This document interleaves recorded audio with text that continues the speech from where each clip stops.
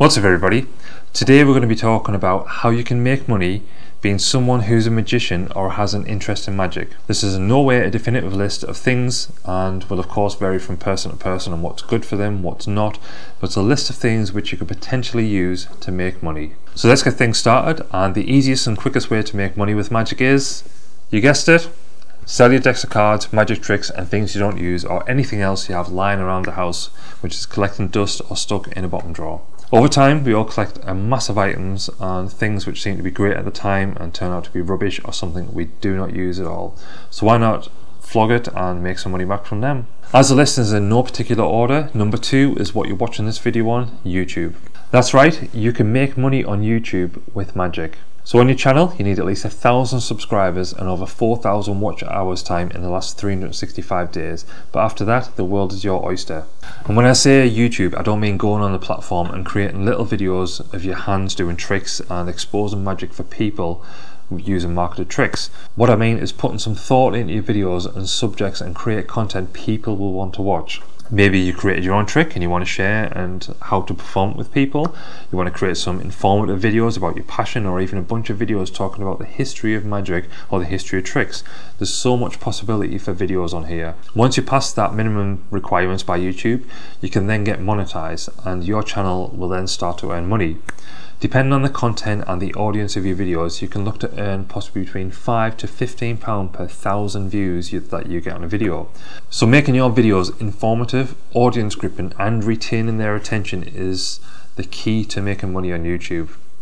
Or failing that, just start to create some Mr. Beast style videos and watch the income streaming in. Next up, we have street performing.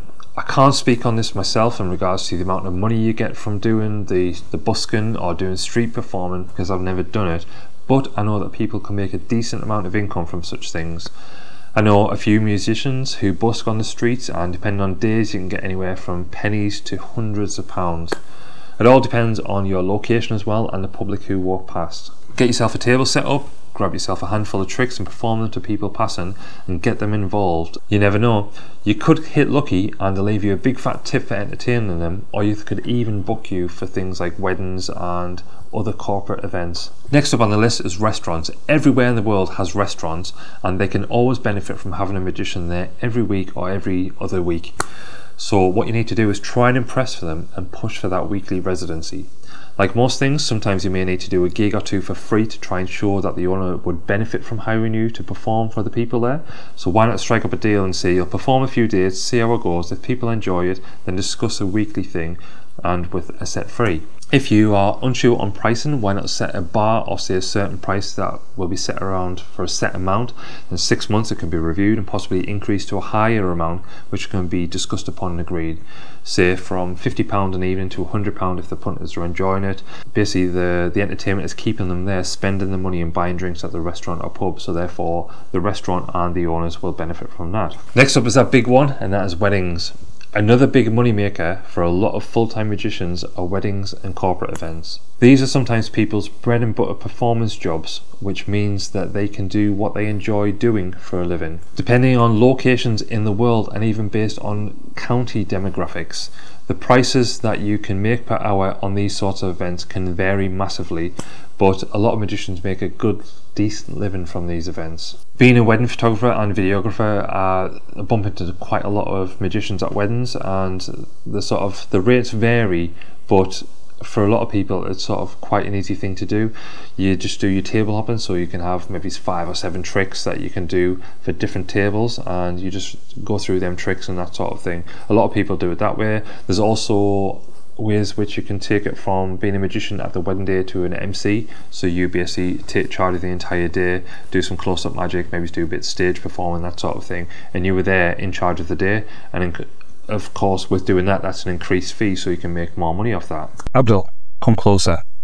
Now, sorry for the interruption in the video, but I just wanted to say thanks to everyone so far that has subscribed, liked, and commented on any of the videos on the Magic channel. In 2024, I'm trying to progress the channel more and more and have a, whole different variety of videos and stuff. So it'd be great if you haven't already to like the the video itself. That helps it with the algorithm, push it out and also subscribe to the channel. That would be absolutely amazing. With the more subscriptions, the the algorithm seems to push out the more videos to different people and stuff like that. So that would help grow the channel and make it into something greater than what it already is. Um, in 2024, we're going to have some nice tutorials, some more magic reviews, some more deck reviews, and loads of other different magic related things as well. So I want to try and get the podcast going along and other things like that. So if that's something you're into, remember to subscribe and keep updated with the video. Now, let's get on with the video. So for the next one, it's write a book or release a magic product. So if you're more of an inventor over a performer or you have a vast knowledge of magic and want to put that down into a written format, why not create a book or put together some magic products to release?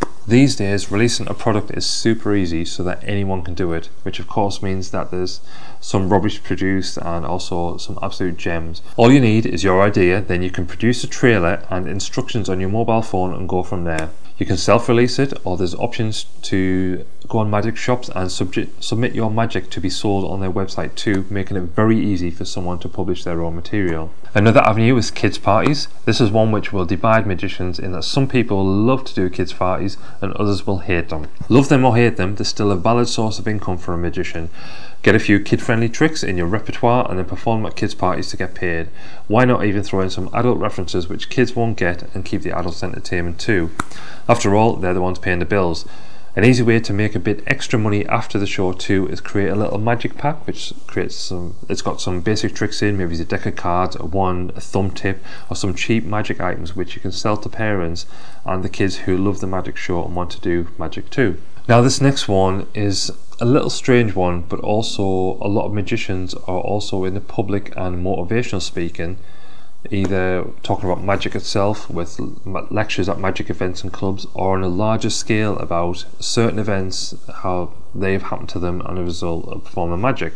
Maybe they got a story about how they've managed to perform for some celebrities or got them to some amazing places like Joel M, who's become a Blue Peter presenter, all thanks to him performing magic on TikTok over lockdown and growing a massive following, and that has enabled him to reach new heights like that. I've seen a lot of other keynote speakers and things like that on TikTok, so they're magicians and they've took various bits of their knowledge from magic and science and things like that, developed it into a speech, and they've been talking that around TED Talk and talking that around the world. So if that's something that you could possibly look into. That's another income stream. So there you have it. That's eight money making avenues that you could go down using magic to generate an income. There's a whole bunch of more different things which you can do which aren't mentioned here, such as things like creating your own playing cards and marketing them on Kickstarter, become an affiliate at a magic store and earn money by sharing your links and promoting products, like Merchant of Magic, for example, which I've used for some links in my description in the past, or Amazon affiliates.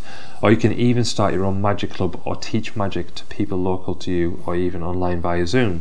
So what you're waiting for, sell some of your old crappy magic you never use to get some money, then take some of the other avenues that I've discussed here to get some extra money. If you're looking to spend some extra money on magic, why not check out some of my other videos which feature some awesome new tricks or decks of cards that you may want to buy and spend some money on. Until next time, see ya.